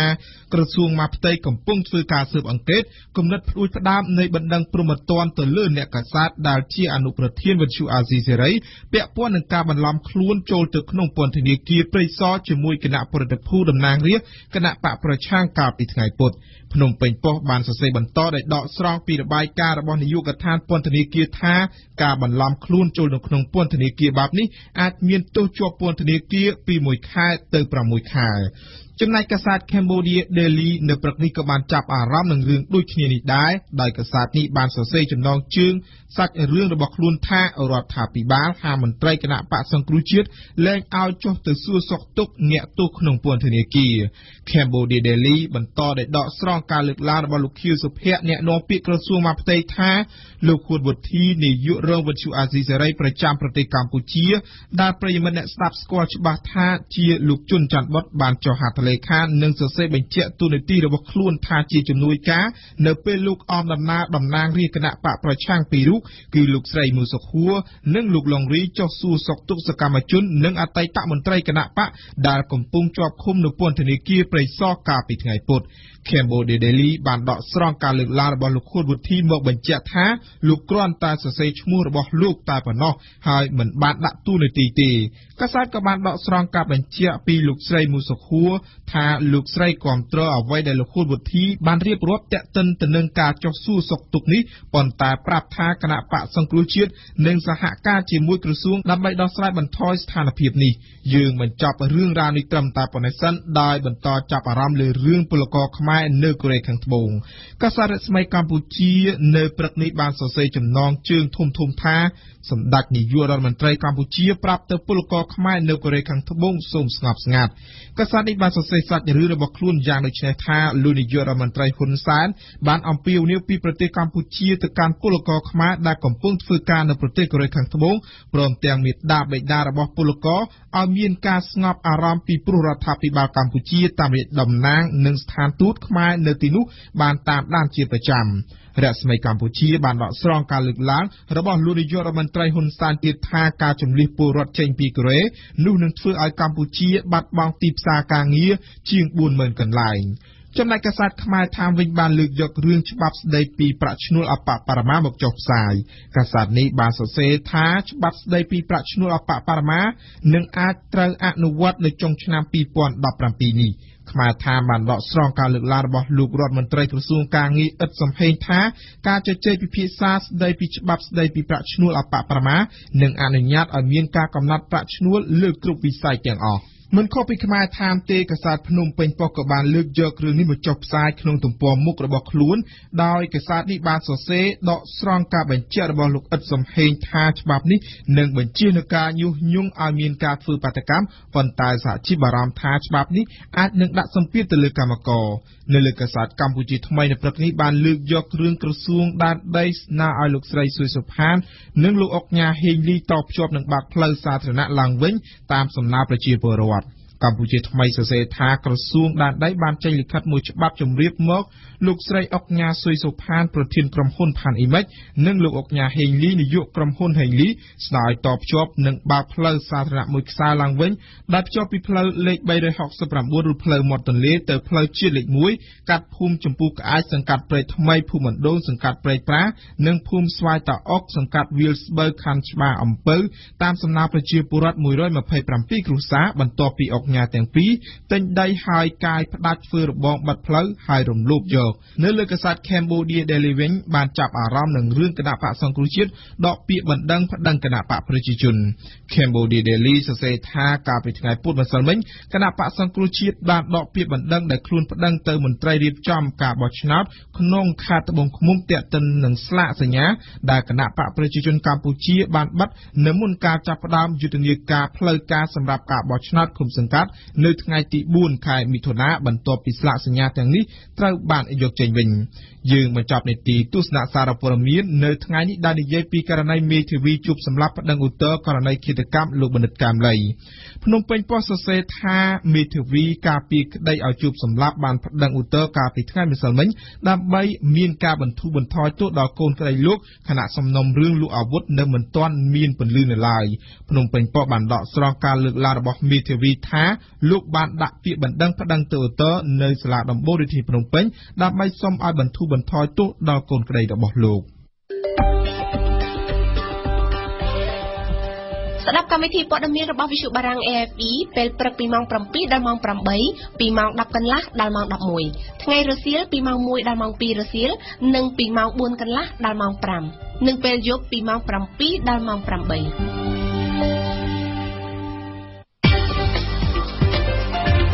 បតយូកា ពលរដ្ឋនៅស្រុកសេសិនធរខេត្តកំពង់ចាមបានរំពឹងថាផ្លូវលំមួយខ្សែនៅមូលដ្ឋានរបស់គាត់ដែលមានការលំបាកច្រើនឆ្នាំមកហើយនឹងក្លាយជាផ្លូវបេតុងឬក្រាលកៅស៊ូមុនឱកាសចូលឆ្នាំថ្មីកន្លងមកនេះប៉ុន្តែក្តីសង្ឃឹមនេះមិនបានដូចប្រាថ្នានោះទេផ្លូវដែលផ្ដើមស្ថាបនាកាលពីឆ្នាំ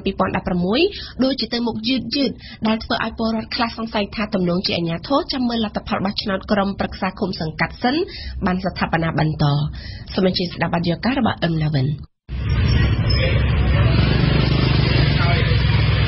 ប្រជាពលរដ្ឋនៅក្នុងស្រុកសេសន្ធរខេត្តកំពង់ចាមបានរស់នៅជាមួយផ្លូវលំដែលមានសភាពលំបាកក្នុងការធ្វើដំណើរជាច្រើនឆ្នាំមកហើយអ្នកស្រុកនិយាយថាផ្លូវលំដែលជាសរសៃឈាមសេដ្ឋកិច្ចដ៏សំខាន់របស់អ្នកស្រុកជាប់ទន្លេមួយនេះគឺមានការលំបាកខ្លាំងនៅរដូវប្រាំងហុយរលាក់គ្រលុកចំណែកនៅរដូវវស្សារអិលបែកភក់ដែលធ្វើឲ្យការធ្វើដំណើររបស់ពលរដ្ឋមានការលំបាកលំបាកទាំងការធ្វើជំនួញជួញដូរការរស់នៅប្រចាំថ្ងៃហើយលំបាកទាំងកូនចៅរបស់គាត់ទៅសាលារៀនទៀតផង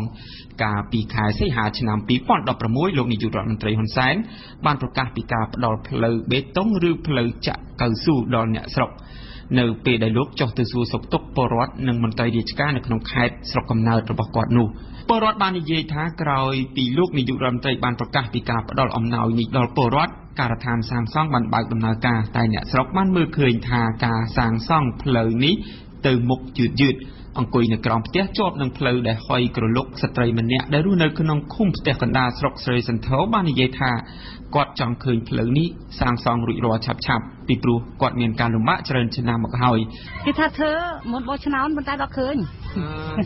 ហើយប្រជាជនចង់ចាចង់ឃើញចង់ចង់ធ្វើចង់ឲ្យគេធ្វើឲ្យពិបាកហើយក៏ផយដល់ពេលភ្លៀងខ្លាំងទៅវាដាច់វាអីឡើងដុំដុំពិបាកជាតិដូចបាយខំអញ្ចឹងជិះទៅវាលាក់អំទៅហងៃទៅផ្សារទៅទិញវ៉ាន់លក់ពិបាកដែរក្នុងលាក់លើមកដល់ផ្ទះចាលើថាធ្វើទៅថាឃើញថាចាក់ដីនៅត្រឹមអីស្មោដានោះហើយមិនតាន់ទេម្ដងហ្នឹងចាក់ចោលរហូតហើយដីឃើញមកទៀតហ្នឹងស្ត្រីម្នាក់ទៀតដែលរស់នៅក្នុងស្រុកស្រីសន្ធោនេះដែរគាត់ក៏បានទន្ទឹងរង់ចាំចង់បានផ្លូវល្អនោះដែរពីព្រោះជាង30ឆ្នាំមកហើយដែលគាត់ធ្វើដំណើរលើផ្លូវលំបាកនៅតែហុយទៅដែរឮតែគេថាធ្វើផ្លូវលឿអ្នកអ្នកថាល្អថាឮតែធ្វើធ្វើនៅផ្លូវទៅដែរគេគិតថាគេត្រូវតែធ្វើ ផ្លូវឲ្យបានមុនចូលឆ្នាំប៉ុន្តែផ្លូវអត់ហើយហ្នឹងហើយដល់ពេលអត់ហើយចឹងប្រជាជនខកចិត្តអីមិនសុខចិត្តអត់សុបាយចិត្តផ្លូវដែលពលរដ្ឋទន្ទឹងរង់ចាំនេះជាផ្លូវមួយខ្សែដែលមានឈ្មោះផ្លូវការថា 70B ផ្លូវនេះមានបណ្ដោយជិត20គីឡូម៉ែត្រដែលឆ្លងកាត់ឃុំចំនួន5របស់ស្រុកសេសន្ធរខេត្តកំពង់ចាមពលរដ្ឋនិយាយថាមិនត្រឹមតែពលរដ្ឋដែលរស់នៅក្នុងមូលដ្ឋាននេះទេដែលមានការលំបាកពលរដ្ឋដែលធ្វើដំណើរឆ្លងកាត់ភូមិសាស្ត្រនេះ គេមិនចង់ធ្វើដំណើរកាត់ស្រុកសេសន្ធរនោះឡើយដោយសារតែផ្លូវលំបាកពលរដ្ឋមានការអាណិតអាសូរដល់កូនចៅដែលត្រូវធ្វើដំណើរទៅរៀនរាល់ថ្ងៃដោយត្រូវជិះកង់កាត់ភក់ឬដីហុយនោះអូតាថាផ្លូវចាំស្រីចន្ទោចឹងនឹងពិបាកអាផ្លូវ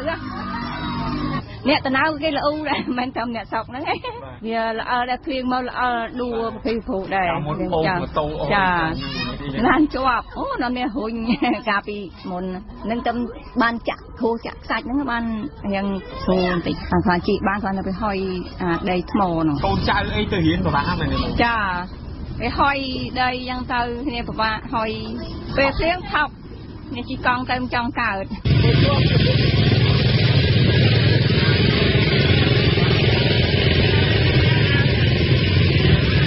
តែប៉ុន្មានឆ្នាំចុងក្រោយនេះមានការងាយជួខ្លះក្នុងការសិក្សារបស់កូនចៅអ្នកស្រុកស្រីសន្ធរនេះដោយសារក្រសួងអប់រំបានបង្កើតវិទ្យាល័យចំនួន3កន្លែងនៅក្នុងស្រុកនេះដែលកាលពីដើមវិទ្យាល័យមានតែមួយកន្លែងប៉ុណ្ណោះគឺនៅក្នុងទីរួមស្រុកស្រីសន្ធរការនោះដោយសារតែផ្លូវធ្វើដំណើរលំបាកសិស្សដែលមានផ្ទះឆ្ងាយពីសាលាប្រហែលជា10គីឡូម៉ែត្រឡើងទៅពួកគេត្រូវមកស្នាក់អាស្រ័យសុំផ្ទះអ្នកស្រុកនៅជិតជិតសាលាដើម្បីរៀនសូត្រ លោកហេងវ៉ានីអភិបាលស្រុកសេសន្ធរខេត្តកំពង់ចាមលោកបាននិយាយថាការផ្ដល់អំណោយរបស់លោកនាយករដ្ឋមន្ត្រីហ៊ុនសែនដល់អ្នកស្រុកស្រីសន្ធរបានធ្វើឲ្យពលរដ្ឋដែលធ្លាប់មានការលំបាកក្នុងការធ្វើដំណើរមានការសប្បាយចិត្តលោកថាការស្ថាបនាផ្លូវដែលមានការយឺតយ៉ាវទំនងដោយសារបច្ចេកទេសដែលបញ្ហានេះទាល់តែខាងសាធារណការនិងដឹកជញ្ជូនទើបគេដឹងច្បាស់ផ្លូវនេះគឺជាជនគាត់ចង់បានយូរហើយហើយបរិមាណរាជអភិបាលគឺសម្ដេចទៅចូលលោកប្រកាស កាលតែគាត់ចុះសួរសំតុកមន្ត្រីនៅខេត្តកំពង់ចាមហើយហើយមកឃើញមន្ត្រីសាធារណការគាត់ចុះធ្វើតាមខែវិច្ឆិកាហ្នឹងធ្វើបន្តបន្ទាប់រហូតមកហ្នឹងអញ្ចឹងបងប្អូនយើងគាត់នៅលើថាបានធ្វើផ្លូវនេះជិត20គីឡូហ្នឹងក៏គាត់សប្បាយចិត្តអញ្ចឹងថាឥឡូវនេះធ្វើកំពុងតែធ្វើវាជួបភ្លៀងផងជួយផងវាយូរអញ្ចឹងបើសិនជាធ្វើរួចគាត់សប្បាយចិត្តនេះនឹងទៀតអានេះវាលក្ខណៈបច្ចេកទេសរបស់ក្រសួងព្រោះមានបញ្ហារឿងសិក្សា ខ្ពស់ចឹងខ្ញុំខាងក្រសួងមិនដឹងថាគាត់សិក្សាកម្រិតយ៉ាងម៉េចឡើយណាគណៈការធ្វើនេះគឺធ្វើដេញមករហូតហ្នឹងតែមានពលរដ្ឋមួយចំនួនមិនបានគិតដល់បញ្ហាបច្ចេកទេសនោះទេពលរដ្ឋខ្លះនិយាយថាការយឺតយ៉ាវក្នុងការស្ថាបនាផ្លូវនេះទំនងតាក់ទងនឹងបញ្ហានយោបាយពលរដ្ឋនិយាយថាស្រុកសេសន្ធរជាស្រុកមួយដែលពលរដ្ឋ មានការគ្រប់គ្រងទៅលើគណៈបកប្រឆាំងច្រើនដូច្នេះអាជ្ញាធរទំនងរងចាំមើលលទ្ធផលនៃការបោះឆ្នោតក្រុមប្រឹក្សាឃុំសង្កាត់រួចហើយទើបសាងសង់ផ្លូវនេះបន្តហ្នឹងគេចាំមើលស្លឹកឆ្នោតសិនណាប្រហែលជាអញ្ចឹងទៅអាចគេថាអញ្ចឹងឬគេធ្វើហ្នឹងនយោបាយគណៈបកហ្នឹងចាលោកហេងម៉ានីអភិបាលស្រុកសេសន្ធរបាននិយាយថាការលើកឡើងរបស់ពលរដ្ឋជាសិទ្ធិរបស់គាត់ក៏ប៉ុន្តែ លោកបានអះអាងថាការសាងសង់ផ្លូវមិនពាក់ព័ន្ធនឹងការបោះឆ្នោតនោះទេរឿងផ្លូវមិនអាចកន្លះខែបោះឆ្នោតមកធ្វើចប់បោះឆ្នោតឈប់អត់ទេផ្លូវជារួមគឺគេធ្វើរហូតគណៈវាមានលក្ខណៈបច្ចេកទេសតែបងប្អូនយើងគាត់មួយចំនួនគាត់មានយោបល់នឹងគាត់យល់របស់គាត់មិនតែការពិតផ្លូវគេធ្វើរហូតតាមការសាកសួរពលរដ្ឋនៅក្នុងស្រុកស្រីសន្ធរបានត្រៀមនឹងចេញទៅបោះឆ្នោតពលរដ្ឋ ដែលបានសម្ភាសន៍និយាយថាការសាងសង់ផ្លូវដែលជាកាតព្វកិច្ចរបស់រដ្ឋាភិបាលចំពោះប្រជាពលរដ្ឋនោះមិនតាក់ទងនឹងការសម្រេចចិត្តរបស់ពលរដ្ឋក្នុងការបោះឆ្នោតនោះឡើយ។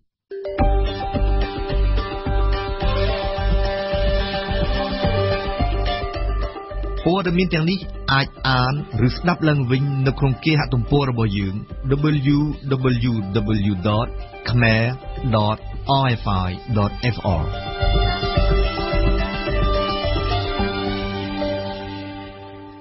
លោកអ្នកស្ដាប់វិទ្យុបារាំងអន្តរជាតិ AFP នៅពេលនេះកម្មវិធីព័ត៌មានរយៈពេលពេញ1ម៉ោងរបស់យើងបានឈានចូលមកដល់ទីបញ្ចប់សូមអរគុណចំពោះការយកចិត្តទុកដាក់តាមដានស្ដាប់របស់អស់លោកអ្នកនៅពេលបន្តិចទៀតនេះលោកអ្នកនឹងបានស្ដាប់ព័ត៌មានជាភាសាបារាំង